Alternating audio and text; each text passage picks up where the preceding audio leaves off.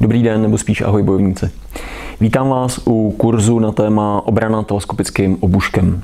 V první řadě vám chci poděkovat, že jste si tenhle ten kurz koupili a že chcete být připravený na zvládání mimořádných situací, ať už pro to, abyste dokázali ochránit sami sebe, ochránit svoji rodinu, anebo v důsledku kohokoliv slabšího, kdo to bude potřebovat.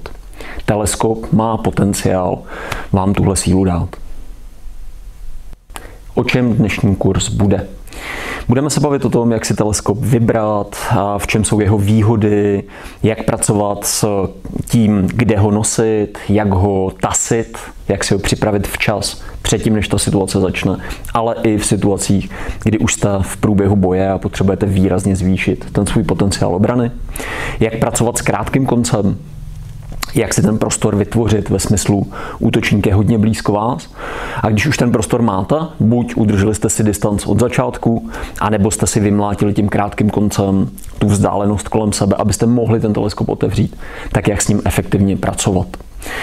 Řekneme si dneska takový základy toho, co byste o tom teleskopu měli vědět, ale hlavně si toho mraky ukážem a to, jestli to bude fungovat nebo ne, je především na vás.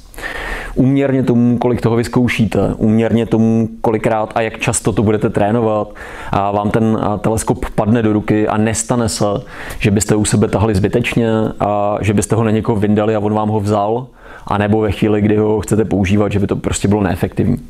To znamená, celý je to hlavně o vás a o tom, jak moc a kolik času dáte tomu vlastnímu tréninku. A pořád je to jenom online kurz a pořád se nemůže nikdy vyrovnat tomu, že přijdete fyzicky na náš kurz. Na druhou stranu, na fyzickém kurzu máme relativně málo hodin, na to, aby jsme to do vás dostali a i tam bychom vám říkali, trénujte doma, cvičte pravidelně.